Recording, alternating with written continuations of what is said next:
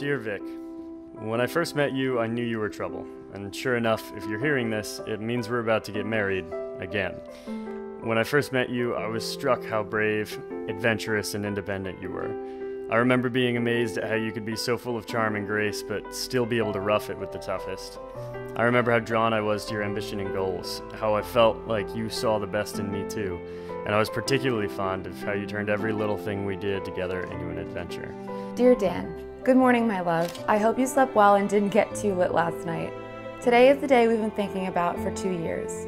Since the day you proposed, you have been so supportive in helping me achieve the wedding of my dreams.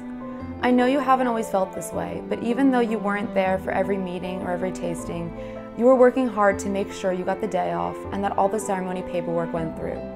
Through your hard work, you showed me just how much you care. One thing you told me throughout the whole planning process was that today is not just about the wedding, it's about the marriage. I didn't really listen then, but as I wrote this, I realized just how right you were. Today is not about the dress, the tux, the cake, or anything like that. It's about you and me. You and me starting out on our big grand adventure of life.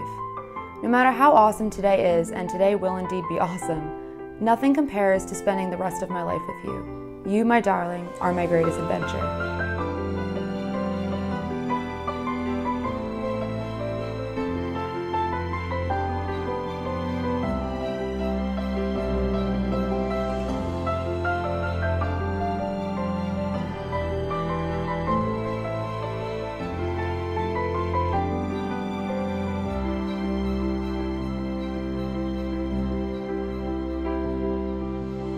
Even in the last year, I've learned about your ridiculous sense of humor, the endless commitment you have for the people and the work you care about, your willingness to sacrifice for those you love, and your ability to make friends everywhere you go. And also, you make a pretty awesome dog mom.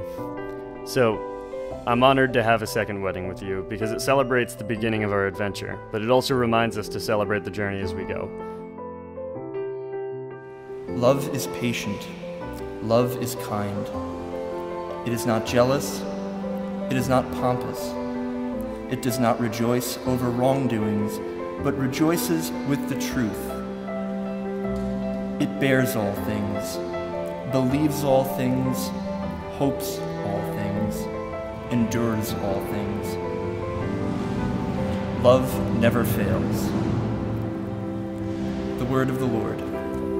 So my calculations have shown that four years translates to 1,460 days. But in reality, we've only spent a fraction of that together. Our days apart have been due to a variety of factors. There was us attending colleges in opposite ends of the country, you going to ranger school, that random training in Fort Bliss, that other training in Fort Knox, the countless training days in the field, you train a lot. Next year you'll be deploying for nine months, which is 270 days. I'm not worried though. Because if distance has taught me anything, it's that even when we aren't physically together, we never grow apart. You've given me one adventure after another, and that's something that I'm eternally grateful for. So in return, here, in front of our friends, our family, and the Almighty, I give you me. I vow to always love you and to care about the things that you care about, to be your adventure buddy, and to always be there to explore new things together.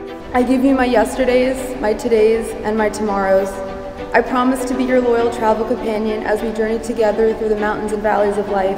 I vow to always show you affection and to never shut you out, even when I'm tired or upset, which means I will be a stable source of back scratches and pats for the rest of your life. But above all, I promise to show you, Daniel Schmidt, each and every day that you are my person, my true north, my best friend, and my greatest love.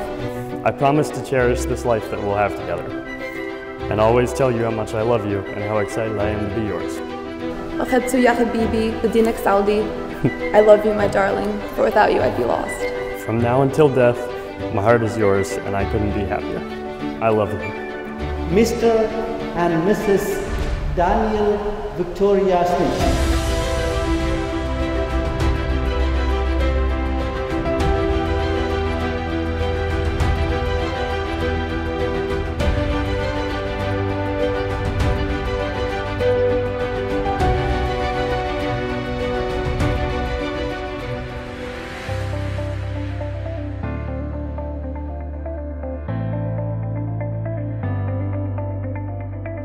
knew Victoria had found the right guy the first time I met Dan. He was quiet and reserved at first, but his humor and sweet nature were evident quickly. This is a man, Victoria, who will truly love and honor you before all else.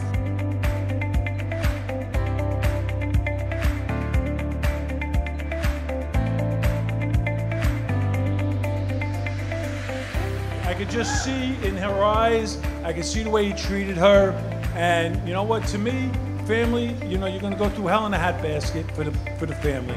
And that's what Dan shows me every day.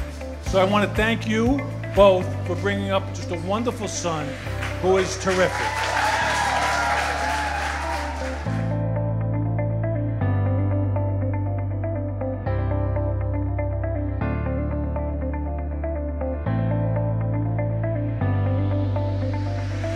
No greater wisdom has Daniel shown than this we see today to be a partner to a soul as generous as he is gentle, to commit to a lifetime of loving a woman he suspected he might love from the moment he first saw her.